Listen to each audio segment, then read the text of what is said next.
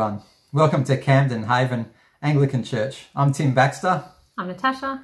And it's great to welcome you to the first service for the year of 2021. Last year was a bit of a topsy-turvy year. Uh, things didn't quite work out as the way we were expecting at the start of the year. I wonder what your expectations are for 2021. Or a better question is, what are you praying for for the year 2021? Today we continue in our sermon series called the Summer of Psalms, or as we're calling it, Hill Songs. They're the songs that the Israelites used to sing uh, as they walked up the hill towards Jerusalem for their festivals. And as they walked up the hill to Jerusalem, they would remember things about who God is and what he's done for them. Today we're looking at Psalm 122. And one of the themes in Psalm 122 is about home. What's our true home? So here's a question for you. What does home mean to you? Or where is home for you? I was thinking about it in our 27 and a half years of marriage, we've lived in 10 different houses. So the question of where is home for us might be very different uh, to the question of where is home for you if you've always lived in the same place. What does home mean to you? Simon's going to come in a minute and speak to us from Psalm 122. Simon Abramowicz, he's our youth worker and scripture teacher at the local high school, doing a great job training and teaching our young kids about the Lord Jesus and what it means to have faith in him. He always uh, speaks very clearly and, uh, and makes the Bible very understandable. So really looking forward to his message today. We're going to read uh, Psalm 122. So if you've got a Bible, open it up.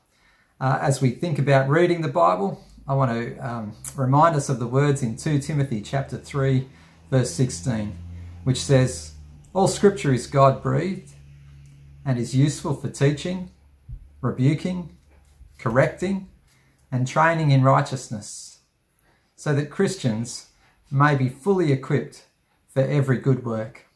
So, as we hear God's word today, let's think about how God is training and equipping us for the good works that He has for us to do. Natasha's going to read Psalm 122. Thanks.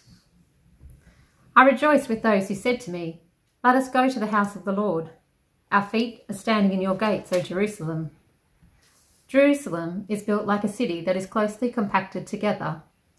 This is where the tribes go up, the tribes of the Lord, to praise the name of the Lord, according to the statute given to Israel. There the thrones for judgment stand, the thrones of the house of David. Pray for the peace of Jerusalem. May those who love you be secure. May there be peace within your walls and security within your citadels. For the sake of my brothers and friends, I will say, Peace be within you. For the sake of the house of the Lord our God, I will seek your prosperity. This is the word of the Lord. Thanks, Thanks be, to, be God. to God. Now it's over to Simon. The first time I got to go overseas, I was six years old and I was so excited. We are going to Thailand and I got a few weeks off school and kindergarten uh, I was really, really pumped. We got to pack our bags, or help mum and dad pack our bags, and I couldn't help but notice that we got another little bag. I thought, to ask mum, I thought, oh, mum, what, what is this other little bag? And she said, oh, it's just for stuff to take onto the plane. You get to bring it with you onto the plane when we travel and we're going to put stuff like colouring in books and little games and gum to chew on when the plane lands for you. I thought, that's awesome. Um, I thought to myself, actually, I'm going to pack some more stuff in this bag without you knowing about it. And so the night went by and I packed some of my, more of my stuff in there. We got to the airport and uh, we could, we got to customs and they're checking our bags and made it through. And I noticed that one of the customs security guards pulled my dad to the side and he was having a bit of a chat and he was holding up my backpack. I oh no, hopefully nothing's happened here. And the security guard holds up my bag and pulls out a toy gun that I packed. I thought, totally fine, you can take that with you wherever you go to play cops and robbers. Um, not a great plan, apparently. And thankfully, the whole security team were in hysterics, and so were my mum and my dad and my sister. I didn't see what the big deal was, but anyway, I was so excited just to get to the destination Uh, thankfully, that was the way it went. But um, as we read Psalm 122, as followers of Jesus, uh, we realize that we are longing to get to our destination, heaven, the new Jerusalem. We are longing for our home, which is so much better. Like the kid on the school camp who is just homesick and says, I just want to go home. Or the kid at the bad birthday party and they think, I just want to go back home. Or even the 21.3 million refugees who are currently on our planet who are unable to go home, who are vulnerable on their journey. The refugee is the closest um, to the Bible's view to the normal Christian life. Away from home, in a strange land, under threat on the journey. This summer, we're going through uh, the Psalms of Ascent, the Hill Songs. There's 15 of them written for the journey home to Jerusalem. So we have three observations from the passage today. Pray yourself home. Home is where the King is, and home is where the Lord is. First point, pray yourself home. Read along with me in verse 1, says these words I rejoice with those who said to me, Let us go to the house of the Lord. Our feet are standing in your gates, Jerusalem. verse 1, we see how David felt when someone first said to him, Let us go to the house of the Lord. Maybe David was in one of his army bases on the edge of the frontier, edge of the kingdom, months away from home. Someone said to him, Let us go home. So he was glad, he was stoked. Just imagine everyone was 500 miles away in Babylon, scattered in exile. It's 538 BC, and someone says to you, Have you seen the newspapers? Have you heard the news? We are allowed to go home. After 70 years away, I was glad.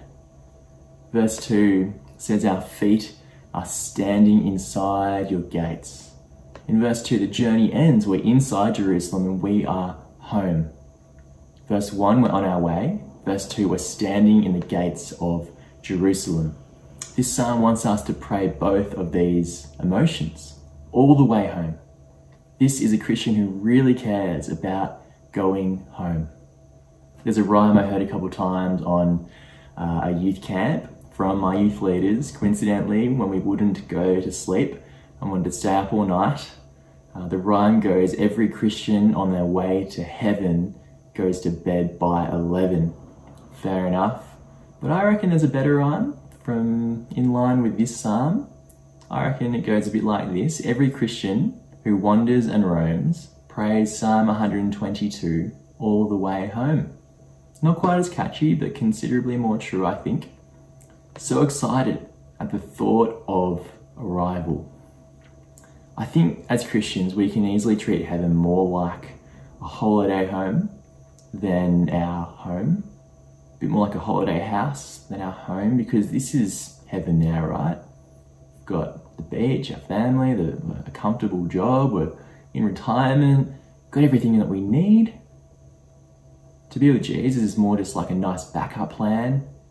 It's a nice thing to have in our lives when life gets out of control and a bit messy. So, as Christians, actually, we're more like refugees, yearning for home than someone with a holiday house. Jesus says these words in John 14 Do not let your hearts be troubled. You believe in God, believe also in me. My Father's house has many rooms. If that were not so, would I have told you that I am going there to prepare a place for you? And if I go and prepare a place for you, I will come back and take you to be with me that you also may be where I am. You know the way to the place where I am going. Your room is ready. If Jesus has already done the DIY, He's prepared your room with your name on it, He really intends to bring you home. It's a bit different to, ah, oh, if you kill 20 bulls and goats, then maybe you can spend five minutes with Him you could come to church for years and never realize that it was all about a journey home. You could easily believe that it's just about helping your life now, giving you some good advice so you can flourish a little bit, be a better person. It's actually about your journey home to Jesus, rooted in the life and death of Christ. Do you trust Jesus to do the DIY? Do you trust that He's prepared a place for you in His Father's house? Do you trust Him to keep His promises? So today, someone could say Psalm 122, verse 1 to you Shall we go to the house of the Lord?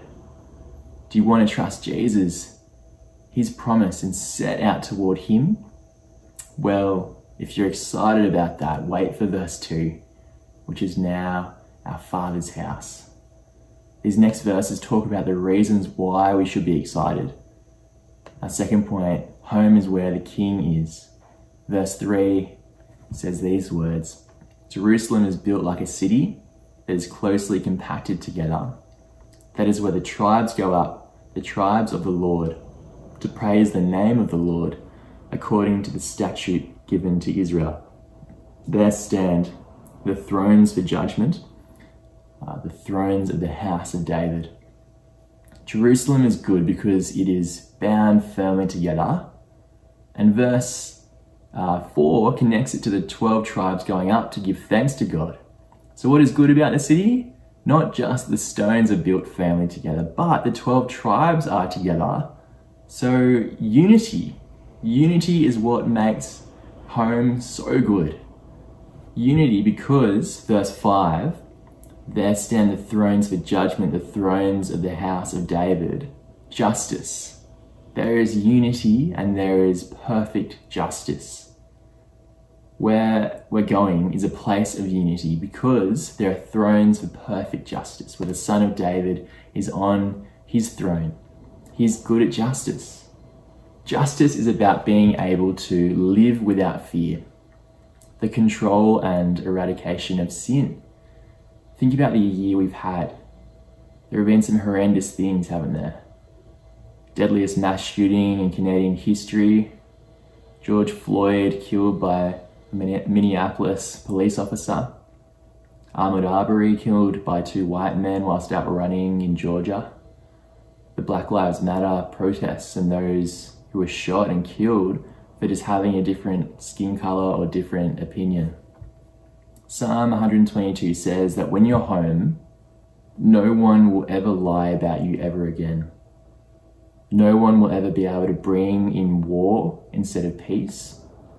We won't be able to lie, fight, or sin anymore. Our perfect King of perfect justice on his throne in his perfect city, Jerusalem.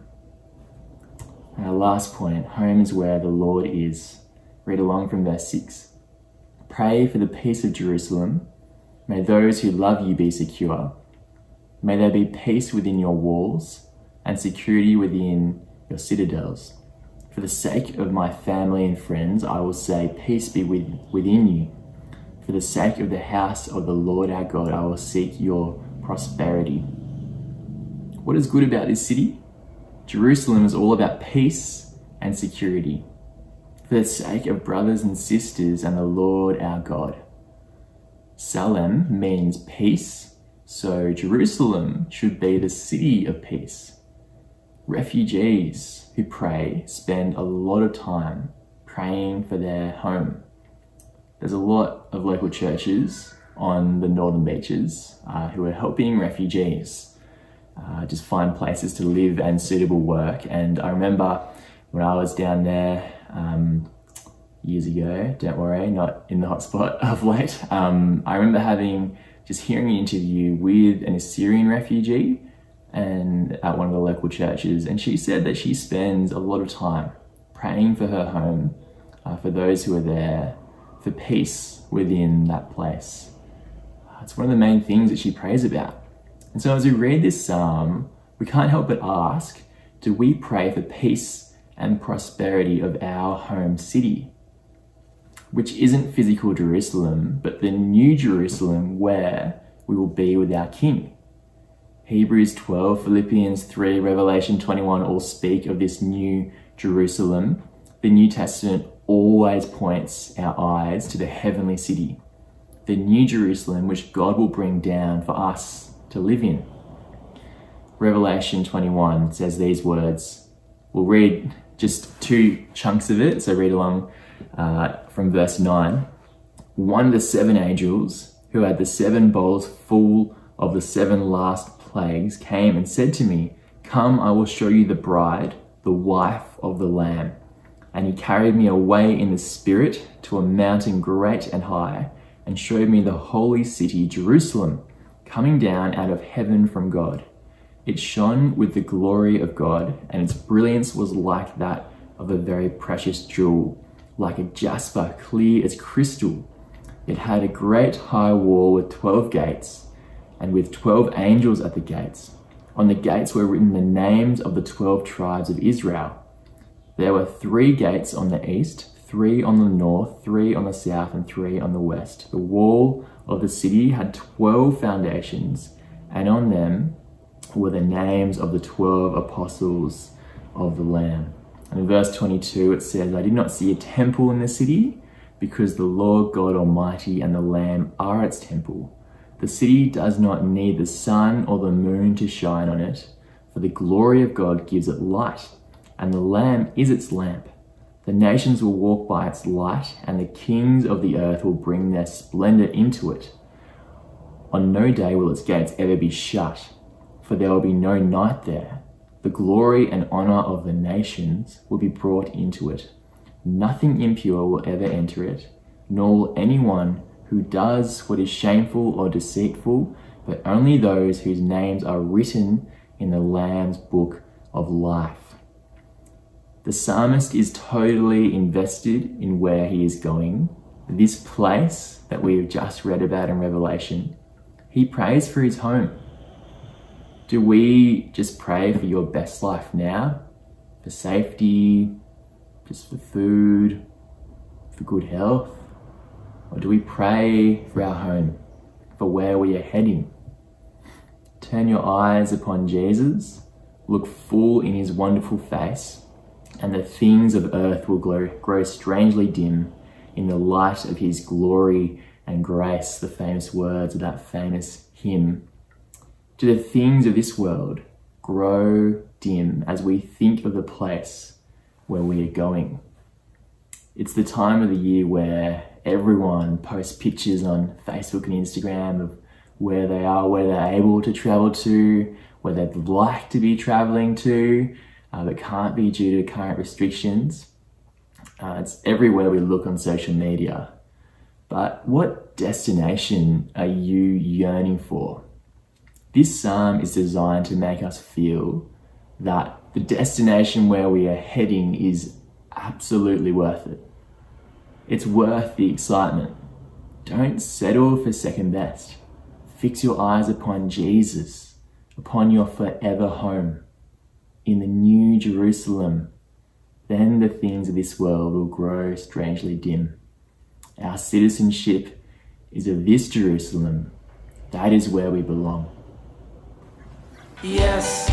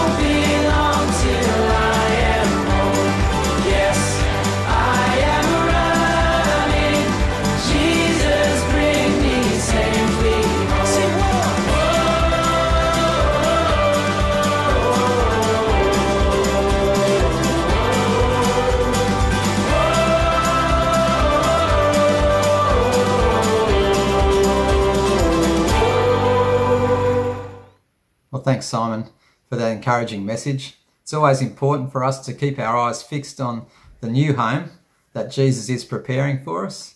He said, I go to prepare a place for you. There are many rooms there. A place in God's new kingdom where God's King rules in justice and peace. Let's pray about that. Father God, we look forward to the new home Jesus has prepared for us and is preparing for us, where there's room enough for all your people. Lord, we long for justice and peace. Please help us to practice justice and peace in our own lives, in our community, with our family. Please help us to keep our eyes fixed on our eternal home, your kingdom, ruled by your King. And we pray this in Jesus' name. Amen. Thanks for joining us this week, and I hope we look forward to seeing you next week. Go in peace to love and serve the Lord. In the name of Christ. Amen. Yes,